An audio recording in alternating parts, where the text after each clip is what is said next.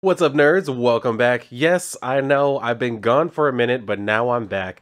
And of course, I had to talk about the thing that everybody's talking about right now. Chiefly, Nubia and the Amazons, number one.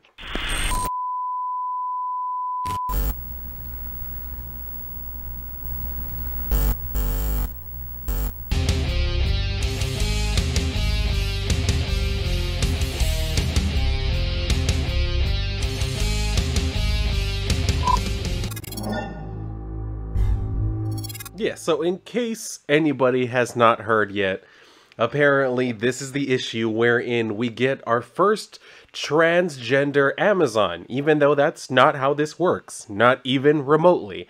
But don't worry, we're going to get into that. We're going to talk about it. Anyway, we kind of start out here with a little bit of a flashback. If you will remember in, what was it, Infinite Frontier number zero, we saw where Hippolyta was leaving to man's world to take over Diana's place since Wonder Woman had died at the end of Death Metal, but now she's actually back recently, so I don't really know what's going to happen with that. Anyway, Hippolyta gave the crown of Themyscira over to Nubia, so that's who's the queen now. And we're seeing like her little flashback of when she came out of the Well of Souls and shit, which is this thing where they do kind of like go on to explain it over here because they do that whole thing where she comes out of it and then like she after she came out of it apparently the the well sealed itself or something like that. What we come to find out later on is someone kind of posits the idea that the well actually corresponds to the wishes of the current queen. So i guess after nubia came out hippolyta was like all right we ain't having no more kids I guess she just hit that in that moment in the trailer park where she was like, "All right, I'm done dropping these bitches out." Like, I don't, I don't know, I don't know why that happened, but anyway, we see this thing where we come back to the present, and Nubia is waking up, and her fellow uh, Lebanese there is also waking up. She's like, "Ooh, shh, go back to sleep. I'll handle this." So she gets up, she gets dressed and everything, and then we see this other thing where this chick uh, Penelope is coming in because she just needs to talk to her right now, and then her bodyguard Philippus is like, you know, I'm sorry, I tried to tell her like she needed to wait, but she was insistent.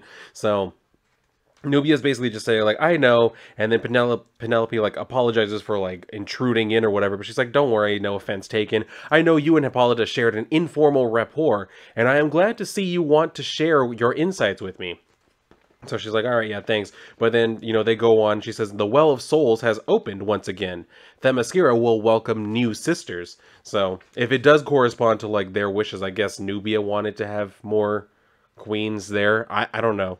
Anyway, so this is where we get, like, the description of the actual Well of Souls. And its keeper, Magala, who I believe we've already been seeing in the uh, the Wonder Woman comics, like the backup story with um, young Diana, which was terrible terrible, terrible, terrible stories. Annoying shit. I only read it because it was actually in the book, and I was like, what is this? What in gay hell is this? And so I had to read through it. But anyway, yeah, like they had that whole thing where young Diana's running around, even though young Diana was like 12 and Nubia was already like 20. So I don't know where that, whatever. Anyway. So it just kind of describes the Well of Souls, a place where the souls of women who died through acts of violence in man's world reside. Only these souls can be reincarnated into new Amazons of Themyscira. So only the like bitches with a grudge, basically. I mean, I know it says like they were victims of violence or whatever, but I mean, that's pretty much like it. That, those are the only ones, the people who would probably come back bitter as hell. Those are the only ones who can come through. The, all right, so the caretaker, Magala, the caretaker of the Well of Souls, came from it herself. Didn't they all? Well, like the majority of them? Anyway, she lives her life scheduled from secluded scheduled, secluded from the rest of the Amazons, choosing to instead take care of the souls who have yet to emerge from the well. Thanks to Princess Diana, over the years Magala has developed quite the collection of trinkets from man's world, and we're going to see more about that later. It's actually hilarious. Anyway, so it says the status, until recently the Well of Souls has been inactive for centuries after Nubia emerged from it around the same time Princess Diana was born. Cleo, one of the best Amazon historians, has a theory that the Well of Souls may be connected to the will or desires of the Queen of Themyscira. So that's what I'm saying. Anyway, so we see where they're like coming out and shit, and they're like welcoming them, welcoming them into Amazonian society. And I don't know what happened in this final panel because she's like, "Well, welcome to Themyscira." I was like, "What? Did y'all have a a Lebesian moment for a second where you like looked in her eyes and you were just love struck for a second or what the hell? Because like this is not the one. The one who's actually going to be the one that we're talking about is this bitch right here. And as you can tell, that's not her. So I don't know what it was. I would have understood if this had if this had been her and she was just like like Nubia had been like, okay, what the hell is this? But that's not what's going on. So I don't know what what this like hesitation in her voice was or whatever. Anyway, so they're all kind of just wanting answers and shit, and she's basically telling like, yo, calm down. Before we give you any answers as to what's going on, we got to test you to make sure that you some hard bitches. So you're gonna go with Magala, and she's gonna start them like tests and shit. Like that's, I mean, you could distill it down to what I just said. That's basically what she's telling them. Anyway, like they even ask her, like, you came out of the well, and she's like, yeah, a very long time ago, and I'm still here, as I hope each of you will be. So she's like saying, you know, Magala is the best that I know. You're in excellent hands. Each of you will take part in our customary welcoming ceremony later tonight. Before that, you will have to complete a few assessments. They help us get to know you, and for you to get to know us and how life is on the island. So they like take off, and then this is where Philippus comes up and is talking to Nubia, saying like, "Oh, maybe there's one here who's potentially like a guardian or whatever." The hell, like she's very concerned about that, as we're going to see throughout this. So she's saying like they will make good Amazons and all this shit, and then Nubia saying, "Yes, well, they are not what worries me." So we see where they're like starting to like test them on all this different shit, like archery, which apparently they just kind of know how to do. And one thing in here, the one right here who's going to come out is like, or that we know as the trans one or whatever the hell, she's standing here saying like, but I can't remember who I was before I got here. What if I was a concert pianist or a marine biologist? What would it matter, bitch? Have you seen a concert piano anywhere around? So what would that matter? You, if you were a marine biologist, what are you going to leave? You're literally in a brand new place surrounded by all of this ancient Greek architecture, and you're more worried about whether or not you want to go study the dolphins at the beach? Shut the hell up. Anyway, so they're testing them on all this different shit. And then Nubia is saying, like, impressive. And then Philippus is saying, yes, almost as good as you were when you came to us. Perhaps someone to consider for the role of guardian. She's like, Philippus? So she says, "You know I'm right, my queen." So we see this thing. They keep like cutting over to this like door. I can't remember what the hell it's called. In a minute, they're gonna show it on the next page. So whenever I read it, you will know exactly what it is. But anyway, they they have this one bitch who's guarding it. As you can see, the door started to peek open. And then as we can see on the next page at the bottom, like she saw something in there. And we'll see later on it somehow affected her. But before we do that, we have to show again that the uh, the trans one is like just super great at everything because they're sitting there and they test them on how good they are with their hands. I don't know exactly what it is they're making here. I guess like pottery or some shit. Because in the back there's another one who's just kind of like holding a bowl that she made, I guess. I don't know what the hell it is that this one in the middle made because like she comes over, like Io comes over and it's like, oh, this is excellent work. It's like, well, what did the bitch make? I don't see anything. Did she make a plate? Is that what she created? And you're saying it's excellent work? Anyway, so they go on, and Philippus is telling Nubia, says, Don't think I haven't noticed you are avoiding this conversation. To which Nubia says, I'm not avoiding, I am contemplating. Guarding Doom's doorway is no small thing to ask of someone. I would know because, like I said in the like young Diana backups or whatever, they showed that Nubia used to be the one guarding it. That's why I'm saying like she's so much older than Diana, but apparently they were born like on the same night. Uh, whatever. So then we go over to this thing where they give them all these like little maze puzzle balls, and you have to get an even smaller ball all the way through the labyrinth. And who do you think is the first one to get it? Yes, that is correct. It's the trans one who finished it in like two minutes flat. So like this bitch is like, oh my god, nobody's done, or oh my gods, nobody has done that as fast as like Penelope, right? No one has finished one of these mazes so quickly since Penelope. I guess we are all done here because apparently whoever was the first one to finish means like we're done. Like it was a race, apparently. So now we finally go over to the Royal Palace Dining Hall where they're having their grand celebration and all this bullshit. So it just kind of reminds me of like Harry Potter when they have all the like first year students and shit, like they're all eating or whatever. Anyway, so they're here kind of like welcoming them. And then this old bitch says, As is customary for those who come to Themyscira through the well, please, if each of you could stand and tell us the names you've decided on for yourselves. So here we go. We get the first one. She decides to call herself Andromeda, basic bitch. And then we get this next one who decides to call herself Xena. We already have one of those warrior princesses. Find another identity girl. And then we get this one. This one was kind of confusing because I was like, okay, so like, because the first two you can tell are kind of just like Greek design. This one almost looks a little bit more Persian, Indian, you know what I mean? And I'm not just talking about the way she personally looks, even the way she's dressed kind of has that same motif going. And she says her name is Delphine. So they're like, welcome her. And then we get the next one who's just straight up like, look at this. This is straight up just African queen. This is, there's nothing there's nothing Greek here as Themyscira should be. She's just straight up an African queen. She says her name is Caresse. So then we finally get over to the coup de grace, the coup de grace.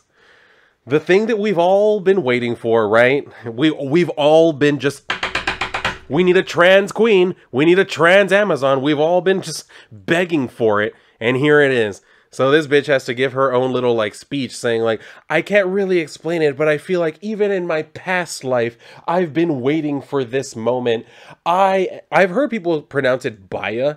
I'm going to pronounce it Bia because obviously this dude has been wanting to be a woman. So anyway, apparently the bitch finally got what she wanted, and so they welcome Sister Bia. So then we go over to where they're basically. this is the part I was talking about. Oh, it's Magala. That's who the old bitch is. So Magala finally took down her hood, and we can see she has gray hair and shit. But anyway, she's telling them like she's always like collected forgotten trinkets, and then whenever Diana went to Man's World, she would like send her things that she thought she would like. And as we see, it's just a bunch of random shit that nobody would actually want. Like this one, she gives uh Bia a damn magic eight ball and then she gives another one like one of those keychains that just says like find your own way. So apparently diana is just like you know a college girl who finds shit in like little tourist shops and sends it home to her mom. And that's what she's now giving to them. And they're all acting like oh my god this is so special. Thank you so much. Anyway so they're sitting there doing this shit. And she gives like some more gifts. They don't actually like show what the rest of them are. I'm assuming she gave Caresse some a box of Newports or something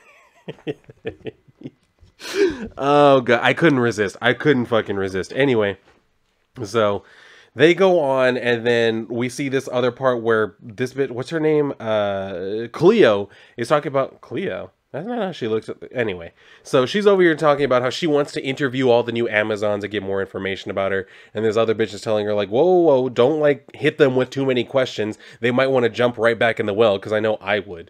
So then we see these three of them Andromeda, Xena, and Caresse who are st- sitting there talking.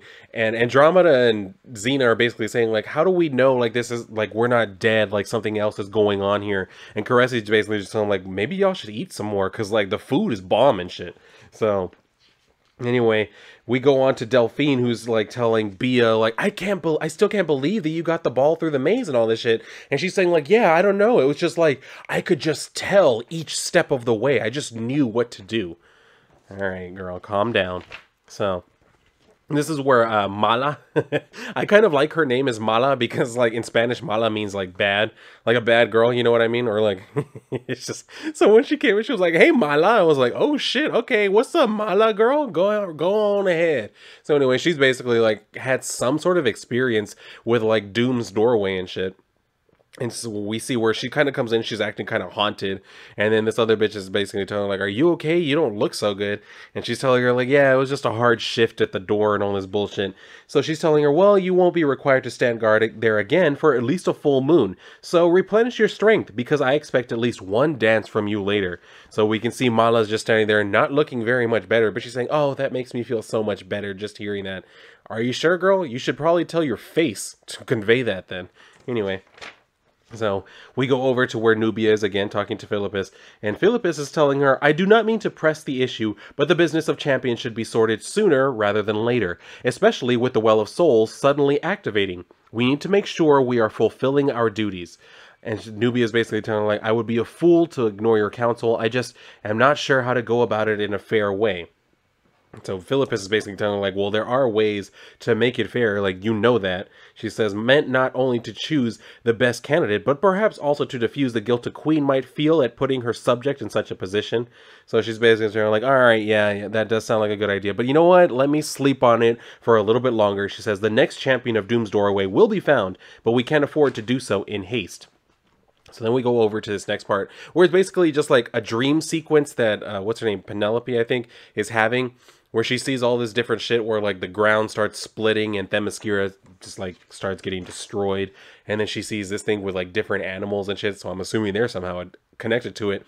But then we see uh, Diana Wonder Woman who is just like there weeping at the destruction of Themyscira. She's like crying tears of blood and shit and then we go over to the next part of it where we still kind of see like different fragments of that. And then we also see this tree that's been shot with like golden arrows, stabbed with a golden sword, and is bleeding and shit. So she wakes up and she's like, by the goddesses. And she has to like run and tell somebody real quick, right? So she runs to the door of Mira and she's like pounding on her door to like open it up and shit. So she finally opens it. She's like, what the hell's the matter? What's going on? And she tells her, the Well of Souls, Doom's Doorway, everything was in ruins. Everything. So she's telling her, like, Penelope, slow down. I can't understand what you're saying. She says it felt so real.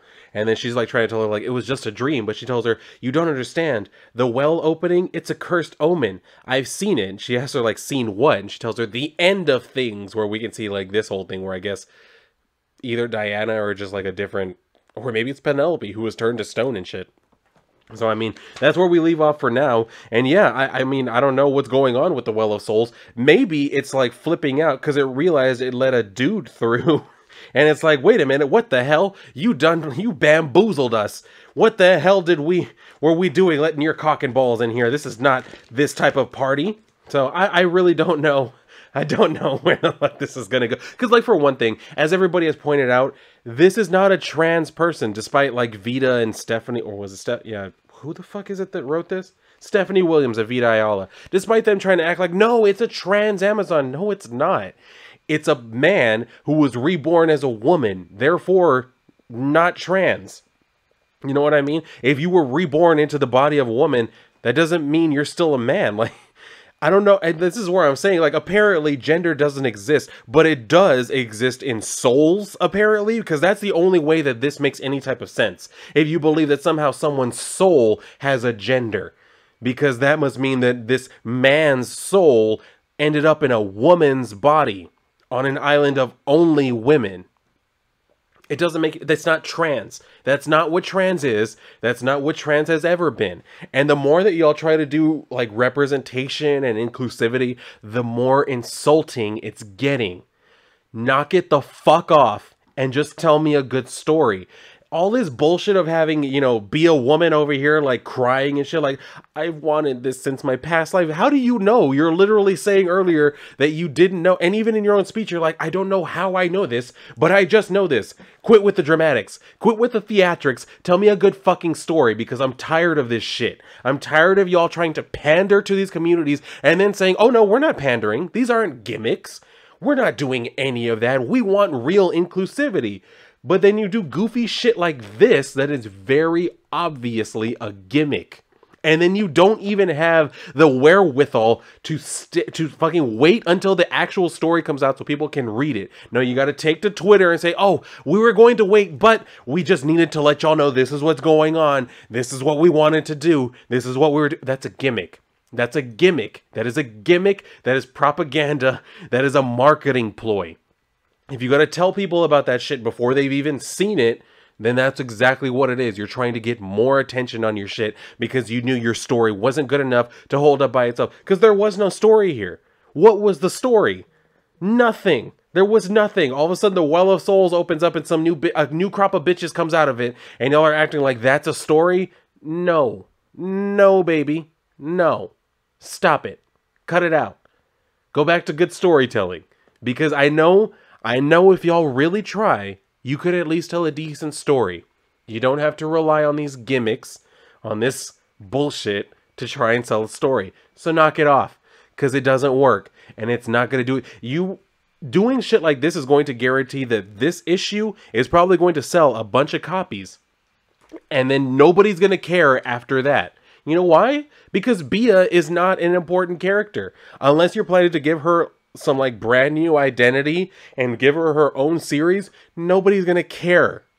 You know what I mean? You were trying to sell this book off the fact that, oh, look, Nubia, you know that black Wonder Woman that you never knew about? We gave her her own series. And then we quickly decided to make it about somebody else with this whole Bia bullshit. So I'm like, what was the point?